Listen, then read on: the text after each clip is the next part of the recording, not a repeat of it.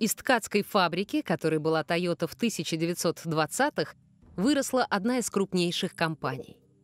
В Японии она значит так много, что город, где расположен ее главный завод, переименовали в Toyota. У Toyota два самых продаваемых автомобиля в мире — Corolla и Camry.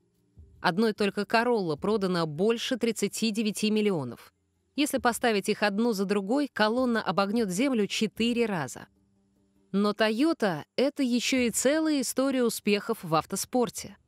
Компания участвует во многих видах гонок, в том числе в чемпионате мира по ралли, Наскар и в гонках среди болидов.